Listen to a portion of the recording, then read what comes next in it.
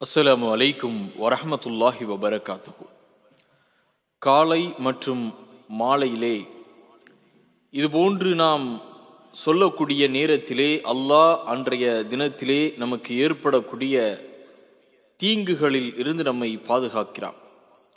இபுனு மாஜா என்கின்ற நபிமொழி தொகுப்பிலே அரபு ஹதீஸ் வரிசையிலே மூவாயிரத்தி எண்ணூற்றி அறுபத்தி ஒன்பதாவது ஹதீஸாகவும் மேலும் திருமிதி போன்ற நபிமொழி தொகுப்பிலும் பதிவு செய்யப்பட்டிருக்கக்கூடிய இந்த ஹதீஸை இப்போது நாம் பார்க்கலாம்.